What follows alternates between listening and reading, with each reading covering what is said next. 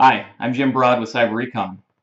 Since the Revision 4 edition of NIST Special Publication 800-53, there's been some confusion on how classes relate to families within the catalog. This short video hopes to explain these changes. Classes were used by NIST to organize the families of controls that were published in their special publication 800-53 through revision 3. Management controls were those security controls for an information system that focus on the management of risk and the management of the information system security, such as safeguards or countermeasures. Operational controls are the security controls for an information system that are primarily implemented and executed by people, as opposed to systems.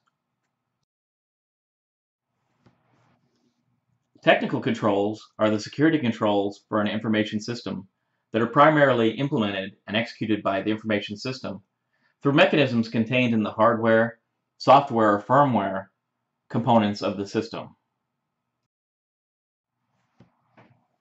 NIST began to realize that classifying these families by these broad categories often led to class overlap. For example, AC or access control is a technical class family, but some of the controls within the technical class or are operational or managerial.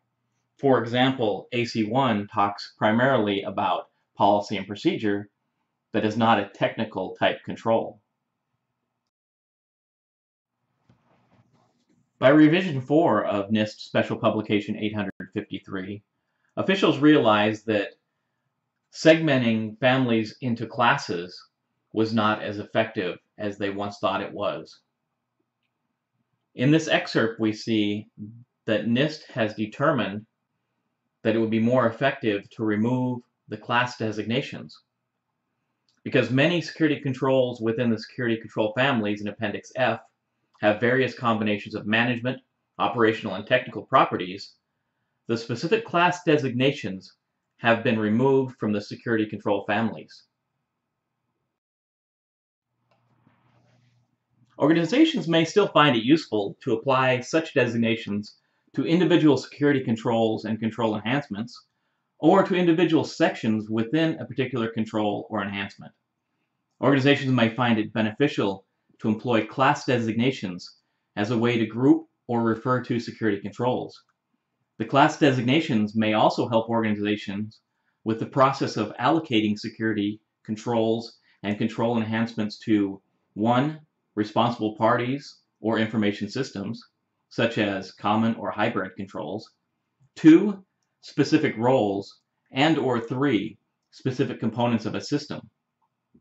For example, organizations may determine that the responsibility for system-specific controls they have placed in the management class belong to the information system owner, controls placed in the operational class belong to the information system security officer, and controls placed in the technical class belong to one or more of the system administrators.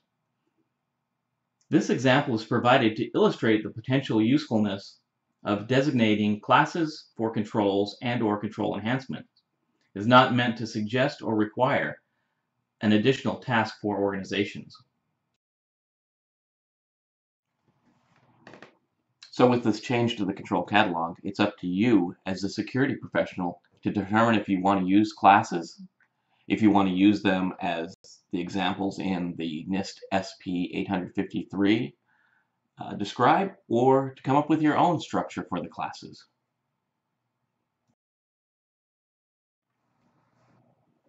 If we look at the same AC1 control from Special Publication 800-53, Revision 4, we'll note that the class designation has been removed from the family of access control. This giving the system owners and personnel at the organization more flexibility in determining how the classes will be applied to controls and even control enhancements.